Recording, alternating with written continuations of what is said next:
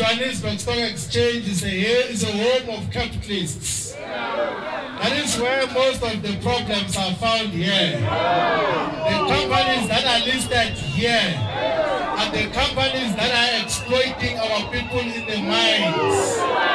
It's the companies that are controlling Cyril Ramaphosa. So we're here to remind the JSE that we want to remove your puppet Cyril Ramaphosa.